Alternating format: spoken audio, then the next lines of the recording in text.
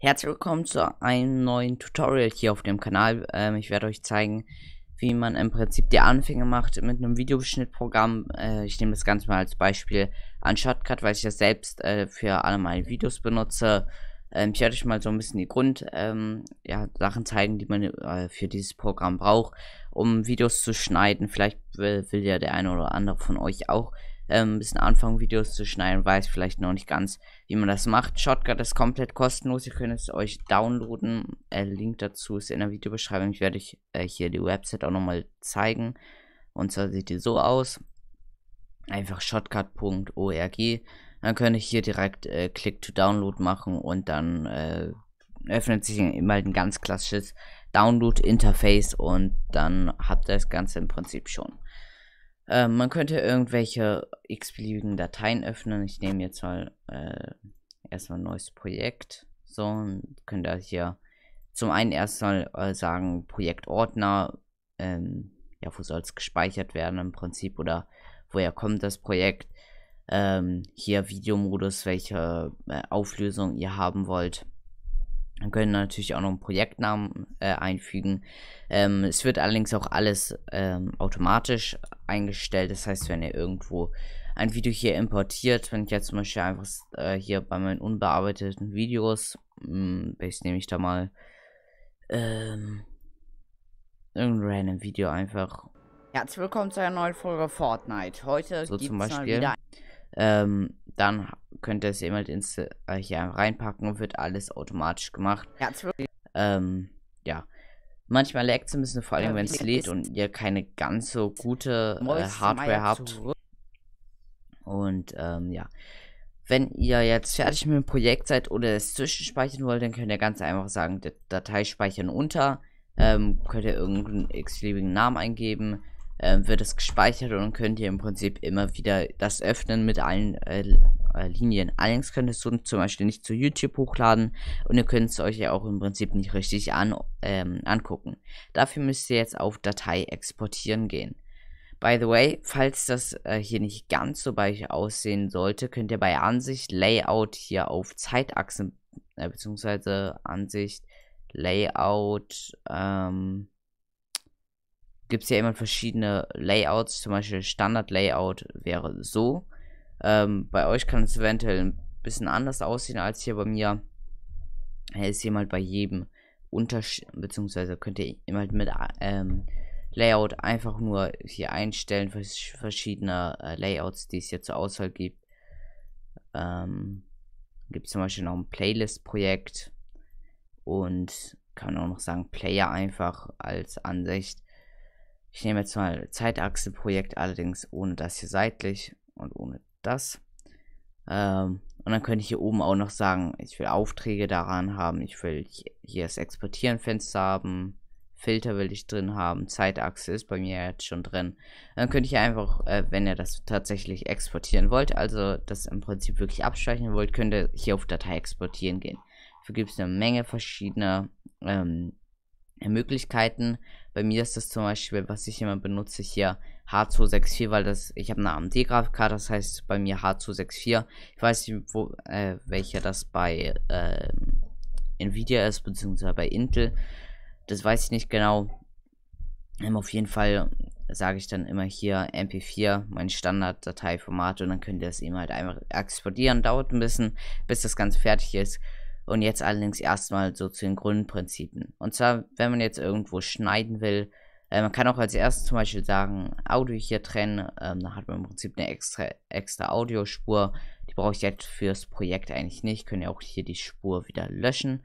Dann könnt ihr hier einfach zum Anfang gehen. Hier oben könnt ihr auch noch die genau, wie groß es sein soll, einstellen. Äh, ändert sich dann eben halt immer, wie viel ihr euch anschauen könnt. Es läuft, äh, by the way, auch flüssiger, wenn ihr keine Wellenform euch hier anzeigen lässt, könnt ihr damit auch Audiowellenform ähm, entfernen, könnt ihr damit im Prinzip dann auch etwas flüssiger schneiden. Ähm, ja, ähm, entweder könnt ihr jetzt mit S, äh, äh, als erstes müsst ihr es markieren, dann könnt ihr S drücken und dann wird im Prinzip ein Schnitt gesetzt, könnt ihr noch mal S drücken und dann habt ihr einen Cut gesetzt.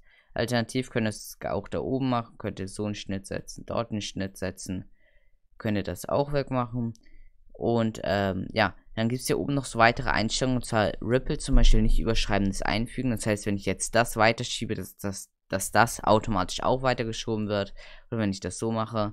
Alternativ, wenn man das jetzt zum Beispiel anhat, dann überschneidet sich das nicht, beziehungsweise ähm, geht immer so rüber. Ähm, das will man natürlich teilweise nicht. Und wenn man das aus hat, dann ist es im Prinzip fast genau das gleiche. Ähm, dann gibt es auch noch Magnet, beziehungsweise Einrasten, dass das ähm, bisschen besser im Prinzip ähm, aneinander äh, Tonspuren, zum Beispiel mehrere Spuren habt, dass das aneinander haftet. Dafür ist es ganz gut. Ähm, ich nehme meistens die beiden Sachen. Dann könnt ihr auch noch beim Ziehen abspielen und sagen.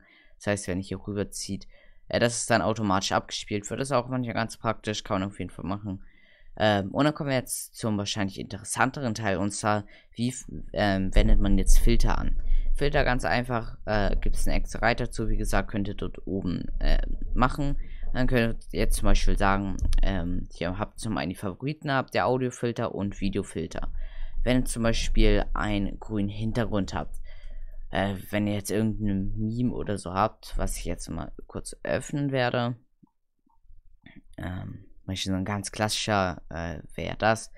Hier weitere Videospur hinzufügen, können das da oben raufschieben. Und jetzt habt ihr natürlich immer noch den grünen Hintergrund. Wenn ihr den weg haben wollt, müsst ihr zum Beispiel hier äh, auf Chroma Key gehen, weil der Chroma Key entscheidet zum Beispiel, äh, was dann entfernt werden soll. Weil jetzt, äh, ich habe als Schlüsselfarbe grün genommen, kann ich jetzt auch nochmal hier äh, auf den Pinsel gehen. Dann will ich jetzt die Farbe haben.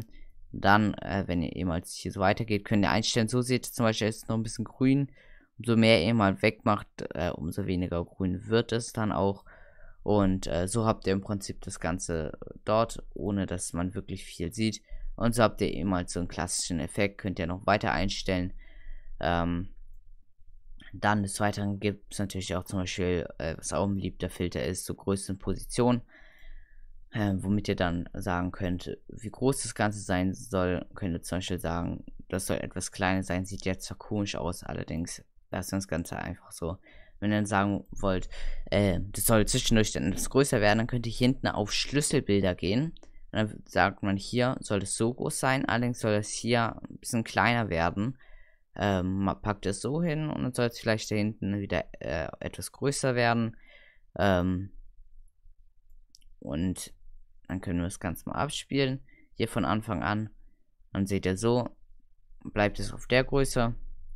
Dann bis hier wird es etwas kleiner, auch so als Animation im Prinzip von da bis da wird es kleiner und danach wird es eben halt wieder größer.